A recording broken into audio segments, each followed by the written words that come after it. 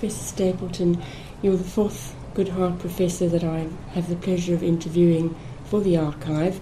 We're, we're making a tradition of hearing the views of the Goodhart incumbents at the start and end of tenure, so I'm extremely grateful to you for agreeing to add to the archive. And could I just start by asking you what you hope to achieve in your time here? Uh, yes, I, am um, hoping to map out a book about causation and consequences in the common law and private law.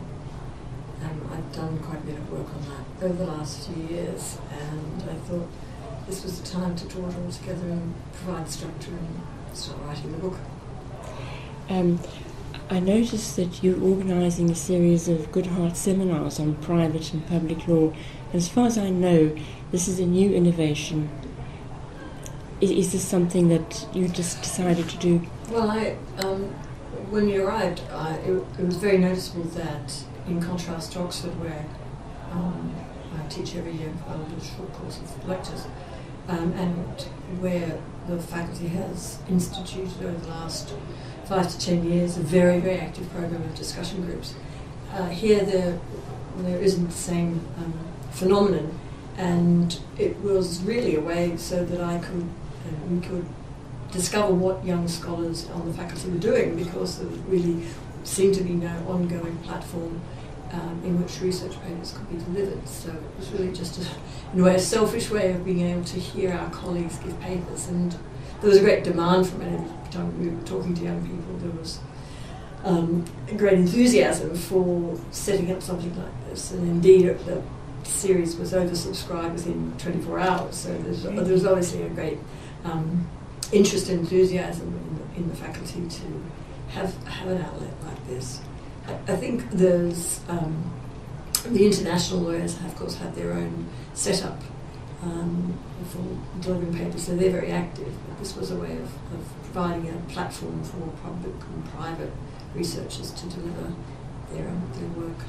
And, and they've been well attended. Yes, I mean we've, we've and everyone's very engaged with the papers, so we're very pleased with how they're going. Um, I, I noticed on the ANU website that there's a very impressive list of your expertise, which includes civil law and procedure, comparative law, philosophy of law and justice, legal theory, jurisprudence, commercial and contract law, um, tort law, and I, I, wondered in which of these you're lecturing here at Cambridge. Gosh. I'll have to go look at that website because some of those I'm sure have been put there not by me. Uh, I wouldn't claim expertise in all those areas. So someone's clearly, um, uh, uh, someone at the university would like me to have expertises that I don't claim. Um, for example, I don't know anything much about procedure.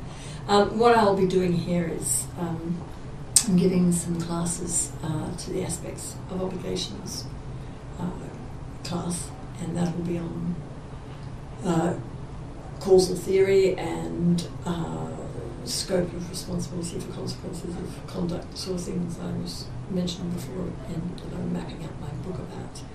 Um, I've also already given some supervisions for students at St John's on a particular paper that I delivered to a discussion group here that was called sort of ad hoc discussion group that was set up when I asked it, was there a way I could give a paper? And that was back in Michaelmas term. And in a way, it was because it had to be set up ad hoc that I, I realised we, we could provide the, um, uh, a formal set of seminars this term for others to give their papers.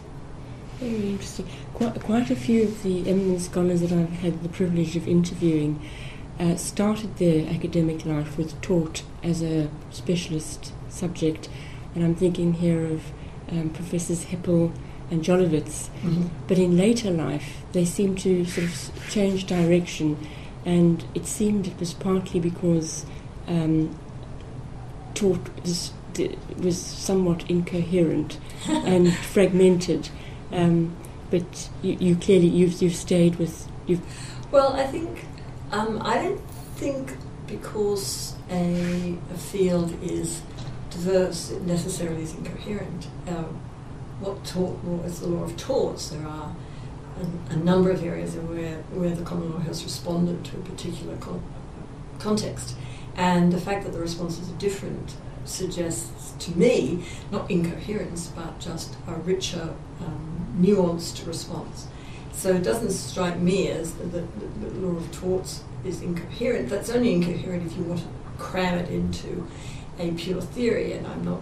I'm not interested in doing that, so I don't feel that the law of torts is, is un, unattractive because of its diverse norms. Um, but my, my um, research interests uh, tend to be uh, about foundational ideas. So for me, I'm, this is why I'm interested in notions. Earlier on in my career, I was interested in the notion of duty. Uh, I'm now interested in causation and consequences. Uh, in America, um, I became interested in product liability, and again at the theoretical or, or structural, I suppose, um, uh, from a structural point of view, that is trying to understand what are the analytical categories that courts use. Are they best expressed the way they're currently expressed? Are, would there be a better way of doing that? Courts, practitioners, academics making a mistake describing a particular phenomenon as strict liability when in fact when one looks, one finds that it's not actually strict liability. So I'm interested in um, not the vast sweep of tort law. Um, I'm not interested in uh, knowing the details of doctrine across the wide dozens and dozens of torts that are out there. I'm more interested in understanding the, the architecture um, by which courts reason through problems in the field. And your expertise straddles the major common law jurisdictions. I'm thinking here of um, Australia, United States, and England, and that is obviously one of your specialities, this comparative um, aspect. And is this something that you highlight um, in your teaching? I think I can draw. I'm lucky that I can draw on different materials from those jurisdictions. I, there are major common law jurisdictions about which I know nothing. For example, India is a very large common law jurisdiction about which I, I know nothing. Um, but I guess my major my major comparators would be the United States uh, versus the Commonwealth and versus the UK. They, they tend to fall out into having um, somewhat different responses. America has uh, structural features that are not present in any of those others. They have um, uh, tort law, for example, is a state matter, so there's no unification under the US Supreme Court of tort doctrine by and large. Some have been constitutionalised, some issues. So you get a great diversity of um, jurisdictions' response to certain problems, and that's in itself an interesting phenomenon to then bring when you go to Australia. Australia, for example, although it's a federal system, the Australian High Court attempts to coordinate and unify tort law in Australia, and obviously in the UK you have the Supreme Court being the ultimate court of appeal from both um, Scotland and England and Wales. So it, it has much more of a unified um, appearance. Uh, so I, what, what I, I think is useful for me is that when I'm in the UK, I can talk to students about how procedure makes the, the, the way law looks in the United Kingdom is affected by procedural assumptions that students may not be aware of. Um, and the same thing in America. It looks different in America because of the procedural assumptions that are, that are in place there. So, for example, in tort law, probably the most famous case is Donoghue Stevenson, that went to the House of Lords as um, on uh, an interim matter, an interlocutory matter that wanted to know whether uh, on the facts, if proven, a duty of care would be owed. Now, in the United States, that could not happen because they have uh, a rule called the final judgment rule, so that you cannot go up to the appellate level until you've had a final determination by the court, either by the judge throwing the case out or the jury finding a verdict. So that makes a very big difference to what um, the, the dynamics of the trial, but also the structure of appellate decisions. Tend to be addressed to how a judge behaved or how a jury behaved rather than a fundamental decision about a straightforward decision about whether, for example, a duty was owed. Very interesting. So, um, this is the first joint appointment to the Goodhart Chair. Was there any special reason for this? Well, Peter and I are married, and I think the faculty um, kindly uh, changed its rules so that we could both come. The, the fact that it's joint is um, nothing to do with us or indeed the university or the faculty, it's got to do with your border agency because uh, origin, the original plan was for one of us to have six months in the chair and then the other one to take over. And as we went through, we signed our contracts with the university and then everything was tickety boo. And then we went to the border agency to get our visas and they said, well, one of you can have a six months visa, and the other one can have the following six months with visa, but you couldn't both have visas for the 12 months. So we had to go back to the university and say, sorry, we actually wanted to spend the time together. So the university, I think someone told me that this might be the first time ever the University of Cambridge has a professorial job share. So we had to redo the contracts as 12 month contracts. Right. It's all about the border I see. I, I wondered about that. well, it's very interesting to have that information actually on record. Mm. Um, uh, in a talk that you gave to the Oxford Law faculty in May last year, entitled Defining and Refining Yourself as a Legal Scholar, you said, and I quote, that you'd had an idiosyncratic trajectory. Mhm. And I realised that you were referring to your, your BSc and your PhD at um, New South Wales and Adelaide, respectively. And then you also worked here in Yes. the chemistry department. And then you, finally you, you turned your attention to law. Um, could you elaborate on, on this? Yes, well, I, I remember I was, I was working in the chemical laboratories on Lensfield Road as a postdoc, and watching the clock and waiting for, for it to be time for me to go home. And I thought this was a bad idea, so indeed I changed my life um, in the chem labs along Lensfield Road. I started out as a scientist because I was um, not brave enough when I left school to follow my interests and decided with my father's advice to stick with science because I found maths very straightforward and I was good at science. Um, but even then, I didn't really have a passion for science. I just was competent in science, and it took me eight years to build up the courage to go into fields that I found more um, interesting. I'm a very slow learner at knowing what I, I want to do. Uh, well, having looked at your publications list, I saw that many contained subjects related to cancers and various diseases, with asbestos frequently mentioned, seven mentioned since 2003. And uh, how did you get drawn to this particular subject area? Presumably, your science background was key here. I'm not sure it was key. I think um, I think my science background is helpful to me because I'm not frightened of numbers or scientific concepts. So it's really a confidence thing. That's how, how it helps me. Um, even when I was a scientist, I was interested um, in sort of basic ideas, building blocks, rather than detail because I have a very, very bad memory. So to cope with my bad memory, I tend to go down deeper into a few things rather than spread my my vision broadly. Now, when it came to um, finishing my, I did my law degree as a mature age student at the Australian National University, and then I came to Oxford to do my DPhil in law, and I thought about what I was interested in. I was interested in new technology in the workplace to start with, but I, when I actually sat down, I thought the only bits of that I was really interested in were the bits to do with the impact on health of new technology. And so I, I became interested. Um, this often happens, you don't plan things, you just get interested. And I got interested in the impact of new technology in the workplace. And the form that the impact was having on people was non-traumatic. So I became interested in non-traumatic injuries.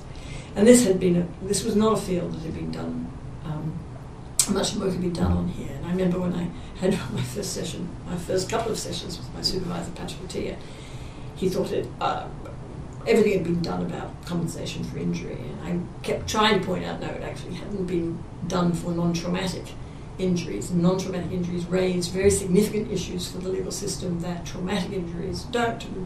if I break your leg, we tend to know who broke it, we tend to know where and when it happened, so things like limitation periods are not a problem. But if you're injured non traumatically, then it might be very difficult to find out who it was that injured you, where they injured you, and when they injured you. So it raised a whole lot of, as I say, these deep fundamental issues that I became uh, interested in. So I did my thesis on um, compensation for non-traumatic injuries, and through that I, of course, became interested in things like cancers. Obviously, the huge elephant in the room of every legal system at the moment um, is uh, asbestos diseases. Um, very much, very serious issues in South Africa in the mining industry. Mm. Um, similarly, your interest in drug induced injury, and here I'm thinking of your seminar to the British Institute of International and Comparative Law, with the involvement of the Medicine and Healthcare Products Regulatory Agency that was in May 2006. Yes, I, I talk. Um, I talk at the British Institute a bit because I'm very interested in um, talking um, to audiences of the bench and the bar. In fact, I'd say I, I actually write for the bench and the bar rather than other academics. So for me, it's very helpful to to present my work to them because they often have such insightful comments to um, um, the conversation with with groups like that is very useful. So yes, I, I am interested in pharmaceuticals again for the same reasons that pharmaceutical injuries tend to be um, ones where it's problematic proving a causal connection. It may be you can't remember exactly which maker of that particular pharmaceutical was the one you took. Um, there are insurance problems. So it's the whole constellation of issues which are similar to uh, the sort of issues that are raised by other non-traumatic agents, such as asbestos. Um, with the explosion of the numbers of modern drugs, presumably this is an area of great activity, and I wondered how the regulatory authorities stand in the crossfire between the patients and, say, commercial companies. Well, I'm not, I'm not a great expert on regulation, but I think one of the phenomena that you see is the difference, getting back to the comparative law, there's a huge difference between um, how uh, tort law operates in the United States in relation to pharmaceutical injuries and here. To my knowledge, there hasn't been one successful judgment of damages against a pharmaceutical company in the United Kingdom, which is extraordinary given how many um, cases are brought uh, and successfully brought in the United States. So you might say that well, that that's, reflects well on the regulatory regime in the United Kingdom alternatively, it could be simply a reflection of how high the barriers to um, access to justice are in the United Kingdom. Very bold person who would take a claim, especially against a pharmaceutical company, where the costs of preparing your case are going to be so huge that it would deter anyone but someone who either had a lot of money or, until recently, was able to get backing from legal aid. Um, I'm also very interested in your wide ranging geographical legal expertise, because you currently hold the position of Ernest E. Smith Professor of Law at the University of Texas at Austin. And, how did this connection develop? Uh, it's very interesting, and it's interesting to.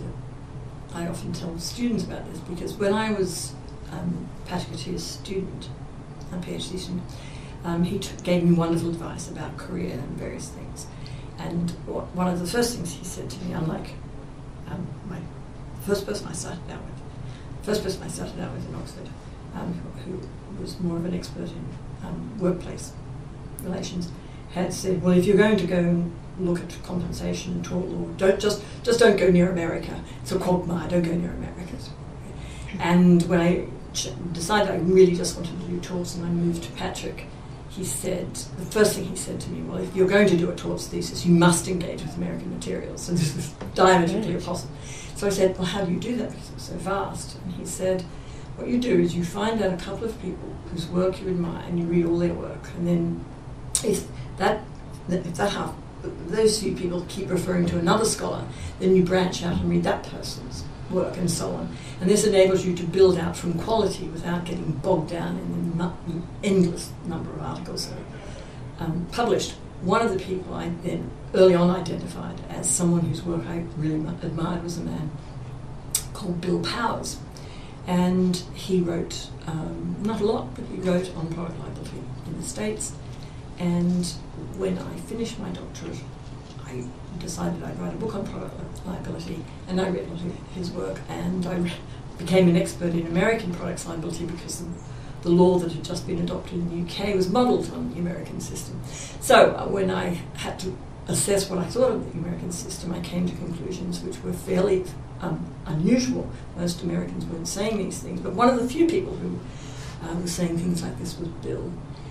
And uh, another thing Patrick had, had, said to me was that the, if you admire someone, you should send them your work. And I thought this was very bold, and he said this was standard practice, for example, in the United States, which it is.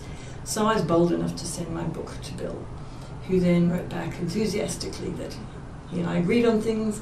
And so fast forward a few years, he kept saying, you must come visit Texas. And I said, no, I have small children, I'm teaching in Oxford. But when I moved back to Australia, he said, to a research chair, he said, well, now your children are older, you're not burdened by teach, uh, teaching, so come and visit. And when I got there, he basically said, well, I think I'm going to become dean. I'd like you to take over my courses in product liability.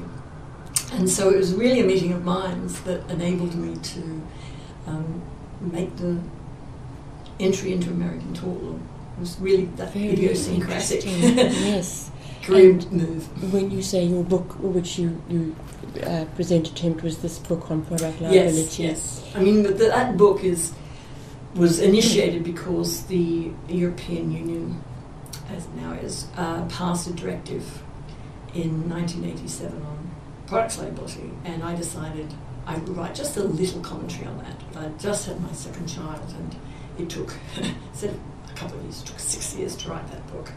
And the reason for that was that I, again I was more interested when I looked at it in not I was interested in the fundamental reasons why this law had been created. So that took me into American materials, and the American materials were not only vast in terms of case law, but it had become the field on which theorists practiced their new theories. So I, it has a lot of theory in it as well as a lot of American law. And that's why it took me so long. And the um, EC directive, which you mentioned, mm. was of course implemented here by the very far reaching Consumer Protection Act. And you said uh, in page four, on page four in this book, that in 1994, tort lawyers were bewildered agnostics about the direction and fate of tort law. And do you feel that this is still the case 18 years on? I think what had happened is that there'd been a move um, following, I suppose, reached its most um, impressive moment when New Zealand abolished tort law for personal injury by accident and set up a compensation scheme. And there were moves in this country, uh, very vocal um, commentators, uh, urging the same move here. And so there was this moment where it looked like tort law was going in that direction, that is, it was going to be replaced by a compensation scheme by the early 90s, that had that moment had, had gone. There'd been the Thatcher years, and Patrick Atiyah, who, for example, had been a champion of the, of the Woodhouse uh, scheme in New Zealand, had changed in line with what he felt was realistic politically. And so in the early 90s, people were, I think, not knowing where the future of tort would go. I think now everyone's accepted that it's not going to be replaced by any sort of compensation scheme, except maybe in a few areas where people are still interested, such as uh, medical negligence or pharmaceutical injuries. So I think now it's resolved itself back to the old regime, just tick on being a Rolls Royce uh, regime for people who are rich, but but behind that, in the shadow of what, would go on in courts, people are still settling claims, accident claims on the road and at work and so on. So it's still as it was when I went to law school in the late 70s. Very interesting. You conclude um, in your book that the directive, and I quote, disrupts and inhibits the development of civil liability along broad rational principles while threatening to have an unfair and a haphazard impact on certain market sectors. Mm. And I found that very interesting.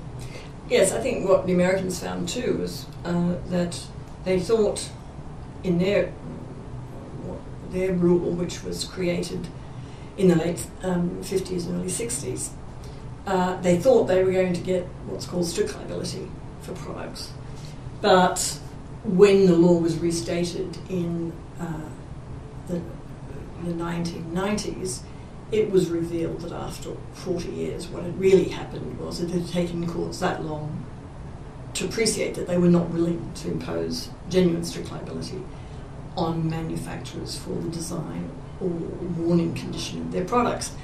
And so it had taken a lot of time to appreciate that that, that was really what was going to happen. So you've got this odd situation where um, there's one set of injuries that has this special set of rules, that is, when you're injured by a product, and uh, there's no rational reason why product injuries deserved a particular response rather than, say, medical negligence injuries. And so the, it, it's, it's, um, it's, it's a, an anomaly within the broad sweep of normal principles that in private law would apply regardless of the particular type of agent that has broken your leg, whether it's a product or a doctor or some other some other agent. Why is why a product special is still a question that's not been answered satisfactorily. And so I still would agree with what I wrote then, that is that it has introduced an anomalous um, distinction between um, those who've been injured in society. Um, coming to your your earlier book, that was Disease and the Compensation Debate, 1986 OUP, and you identify a general failure in tort to compensate for insidious disabilities in contrast to traumatic disabilities, and you alluded to this at the beginning of our interview. And you ask, why should the system favour accident over disease? Uh, and what is the state of play today? Well, it's as I said before. I mean, it's it's it's only a, a sort of um, inevitable result of the difficulties of proof that it's it's very hard to identify often in these cases, and finding this with asbestos. It's very hard to identify whose fibres, in that case, were the ones that triggered your cancer. We know very little about how cancer is caused to begin with. And then when it's possible that one of many different sources of fibre um, had been involved, uh, it presents people with great difficulties. Then if the legal system wants to respond, as it did in mesothelioma in the case of Fairchild, you then have a very significant exception to the normal proof rules, which puts pressure on other areas because people say, well, if they're getting a special proof rule for mesothelioma, what about me? What about my particular context? I've got lung cancer, I've never smoked, and I've been exposed to radon in my house, and I've got lung cancer. Could I? Can I have a claim? Can I have a special rule of proof?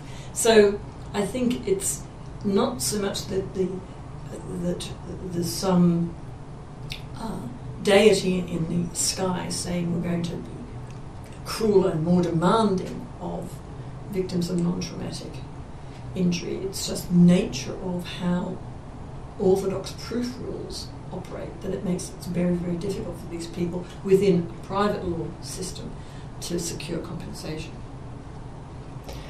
Well, Professor Stapleton, I'm extremely grateful to you for a very interesting account. Thank you so much.